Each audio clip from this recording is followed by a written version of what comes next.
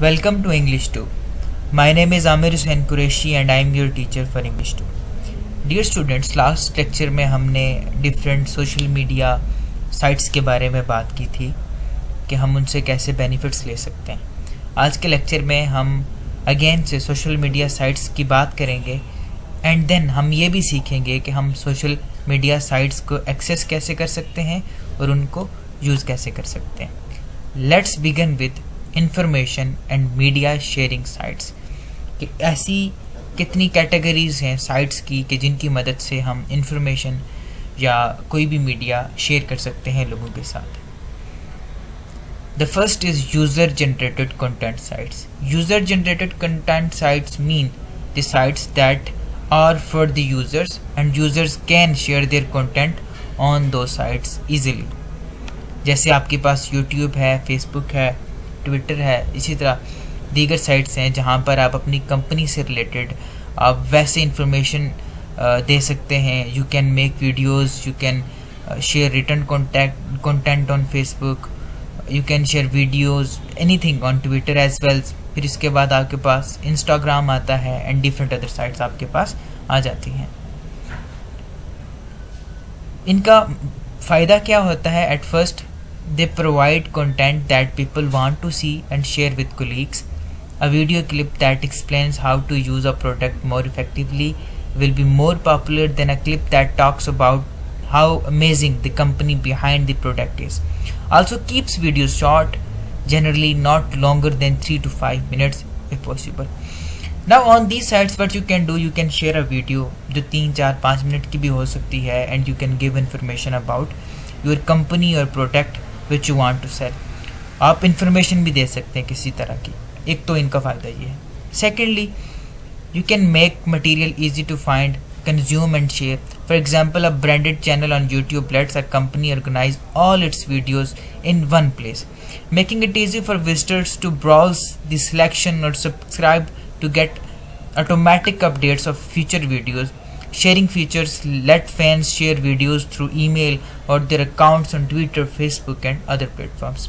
Secondly, for example if you are using YouTube तो YouTube आपको ये अपॉर्चुनिटी देता है कि आप अपनी कंपनी या अपनी प्रोडक्ट से रिलेटेड सारी इन्फॉर्मेशन को एक जगह पर इकट्ठा कर सकते हैं एक वीडियो के फॉर्मेट में now your organisation where is providing everything on one place इसी तरह जो आपकी ऑडियंस होती है they can easily access that information फिर वो उसको शेयर कर सकते हैं। उनको जिस किस्म की भी इंफॉर्मेशन चाहिए, वो उसको ईजिली देख सकते हैं और उसको, उससे हेल्प ले सकते हैं। तो ये यूज़र जनरेटेड साइट्स हैं कि जहाँ पर आप डेटा शेयर करते हैं एंड देन ऑडियंस को वहाँ से अपना काम इजीली मिल सकता है।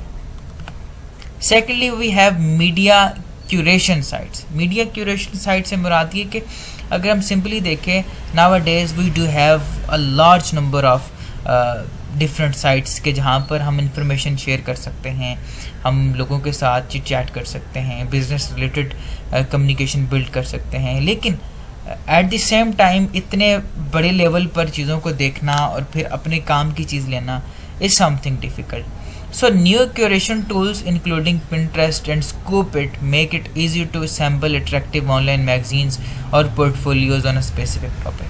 Although it raises important issues regarding content ownership and message control, curation has the potential to bring the power of community and shared expertise to a lot of different fields. Ultimately, it could reshape audience behavior and therefore the practice of business communication अब ये curation tools क्या करते हैं? They help you to find the content आपको ऐसी चीज़ें ढूँढने में मदद करते हैं कि जिनको आप इजीली जहाँ से आप इजीली अपने काम की बात ले सकें। Normally you can do this on Facebook आप फेसबुक पर अपने काम की चीज़ ढूंढ सकते हैं। You can do it on Instagram you can do it on Twitter लेकिन it will come up with so many other things आपके सामने काफ़ी दीगर चीज़ें भी आएँगी।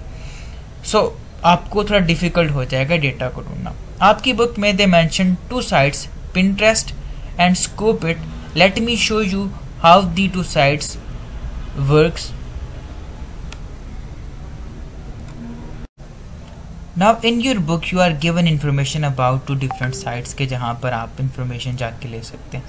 Now here I am like showing you the Pinterest dot com कि Pinterest पे भी आपको इन्फॉर्मेशन मिल सकती है। You can get information about things और आप अपनी इन्फॉर्मेशन को खुद से ही क्यूरेशन प्रोसेस से गुजार सकते हैं। फॉर एग्जांपल मैं यहाँ पे सर्च करता हूँ किसी भी आपके सामने ऑप्शंस आ गए आप देख सकते हैं। किचन आइडियाज़ फॉर एग्जांपल आपको चाहिए। When you click on there and you will find so many things that can help you your kitchen. And the second site about which uh, they have given information in your book is scoop it अब scoop it is something different जहाँ पर आपको ख़ास किस्म की information मिलती है।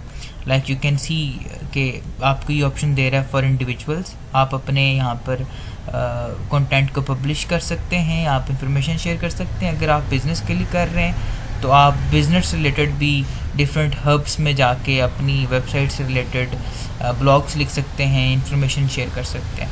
So these two sites that are mention in your book और that can help you to get information easily about something all right number three point is community question and answer sites so we do have some sites के जहाँ पर हमें हम question कर सकते हैं and then we can get information related to our question हमें जिस किस्म की भी इंफॉर्मेशन चाहिए, हम वो इन्फॉर्मेशन ले सकते हैं. For example Quora dot com एक वेबसाइट है कि जहाँ पर आप किसी भी तरह का क्वेश्चन करके इन्फॉर्मेशन ले सकते हैं। फिर गेट सेटिस्फेक्शन के नाम से एक वेबसाइट है। लिंकड इन आंसर्स के नाम से। मैं अभी आपको ये तीनों वेबसाइट्स भी बताता हूँ and then I will show you कि हाउ दे वर्क अब पहली चीज़ जिसका आपकी बुक में मैंशन है जिस साइट का, वो है Quora dot com Quora dot com पर जाके आप किसी भी तरह का क्वेश्चन कर सकते हैं। Here you can see I am I am on the dashboard of the Quora you can add your question here कोई लिंक आप ऐड कर सकते हैं। आप यहाँ पर देख सकते हैं साइट पे आपको डिफरेंट वो कैटेगरीज दे रहा है जिनसे रिलेटेड आप इन्फॉर्मेशन ले सकते हैं। और आप यहाँ पर इसके न्यूज़ फ़ीड में देख सकते हैं। लोगों ने सवाल किया है who is one of the most likeable criminal in history and then अगर मैं आपको फर्दर दिखाऊँ जैसी कालबा old children pics are incredible now people are commenting on this तो आप कुछ भी निकाल सकते हैं। And if you want to question something आप यहाँ पे अपना क्वेश्चन लिख सकते हैं। एंड देन क्वेश्चन लिखने के बाद आप अपना क्वेश्चन पब्लिक में शेयर कर सकते हैं इवन कि आप लोगों को टैग कर सकते हैं, और लोग आपके क्वेश्चन को आंसर करेंगे।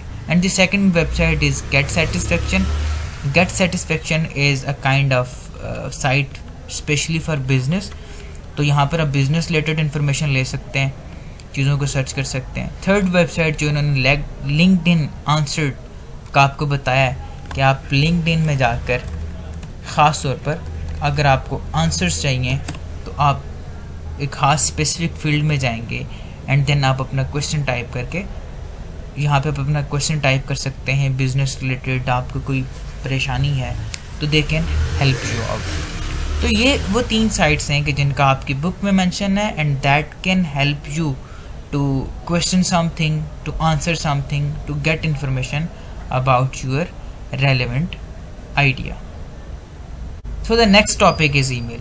Email has compelling advantages that will keep it in steady use in many companies.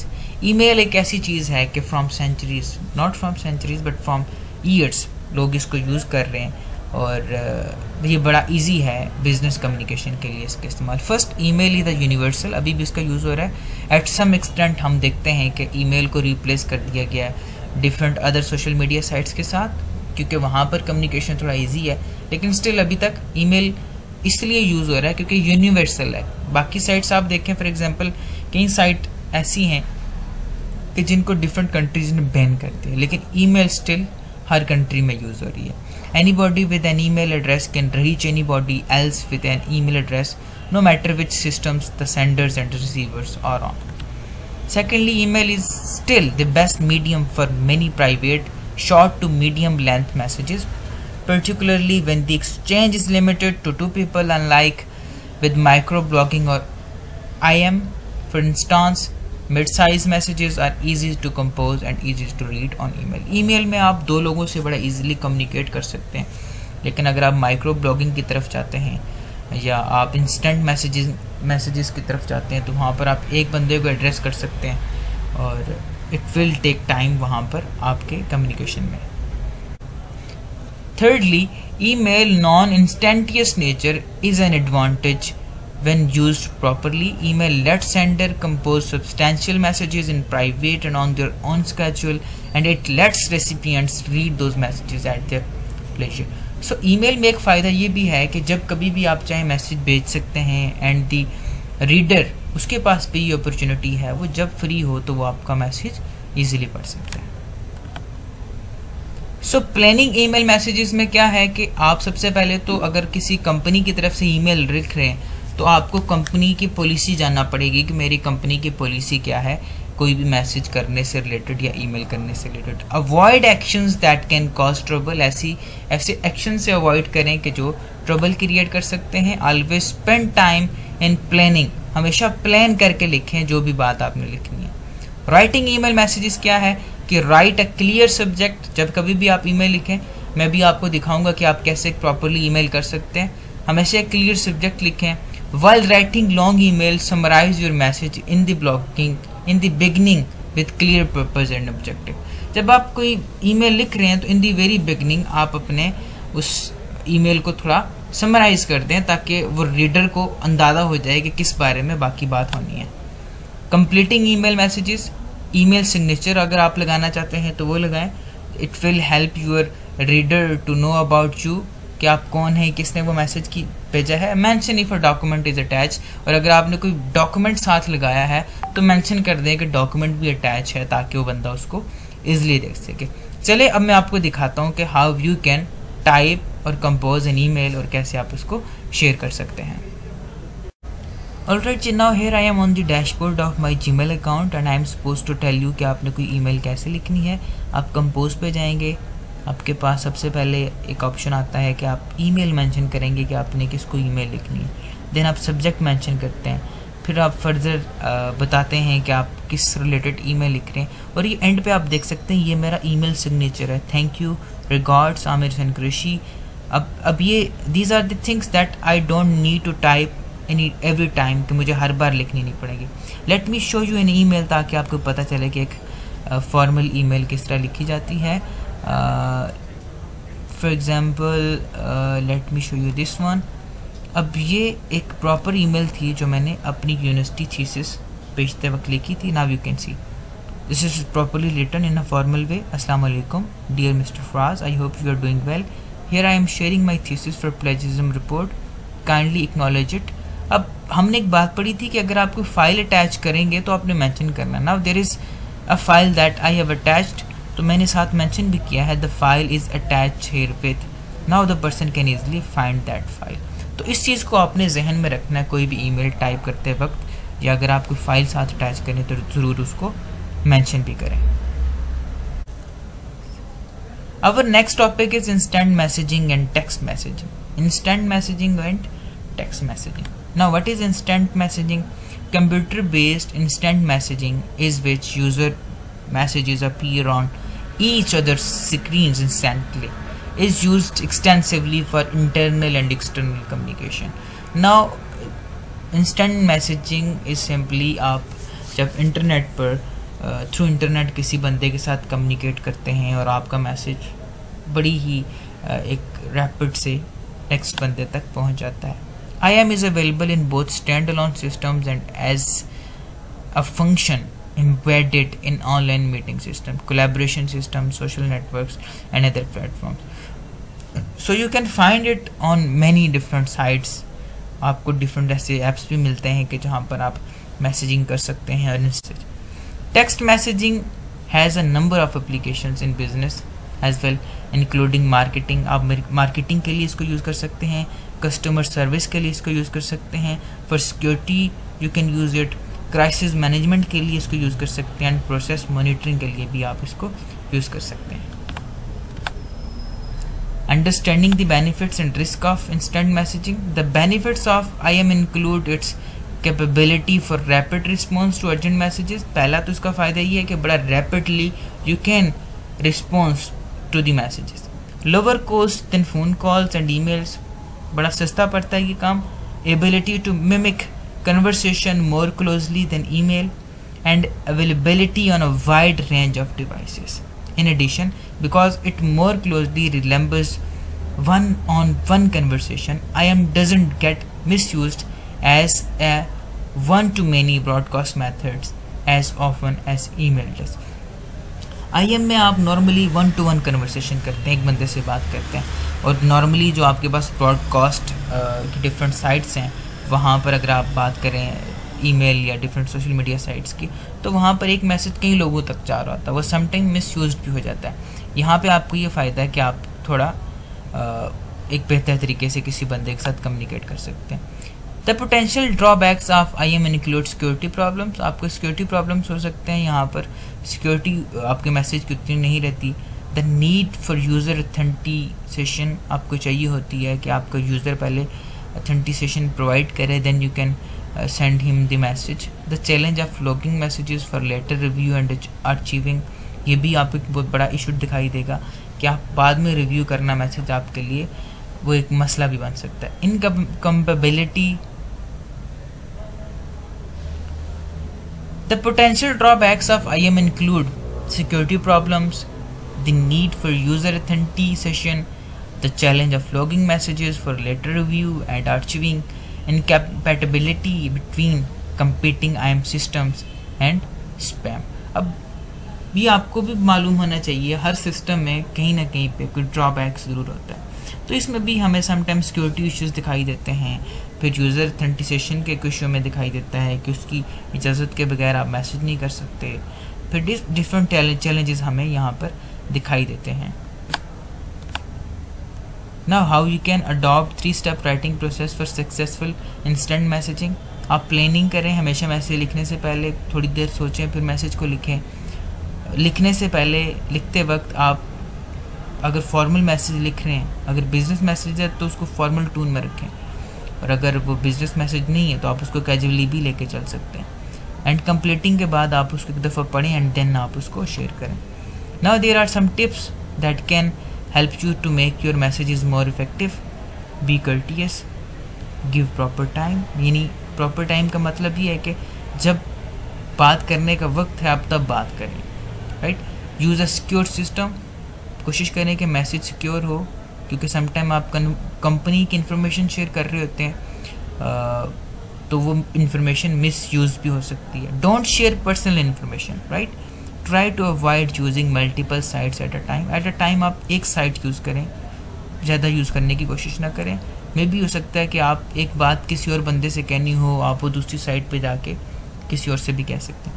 Follow security guidelines अगर आप किसी कंपनी के साथ काम कर रहे हैं तो अगर कोई उनकी सिक्योरिटी गाइडलाइंस है तो आप उनको भी फॉलो करें। Thank you so much for today's lecture the potential drawbacks of I M include security problems the need for user authentication the challenge of logging messages for later review and archiving incompatibility between competing I M systems and spam अब भी आपको भी मालूम होना चाहिए, हर system में कहीं ना कहीं पे कोई ड्रॉबैक ज़रूर होता है। तो इसमें भी हमें समटाइम सिक्योरिटी इश्यूज़ दिखाई देते हैं, फिर यूज़र अथेंटिसेशन के इशू में दिखाई देता है कि उसकी इजाज़त के बगैर आप मैसेज नहीं कर सकते। फिर डिफरेंट चैलेंजेस हमें यहाँ पर दिखाई देते हैं। Now how you can adopt three step writing process for successful instant messaging आप प्लानिंग करें, हमेशा मैसेज लिखने से पहले, थोड़ी देर सोचें, फिर मैसेज को लिखें।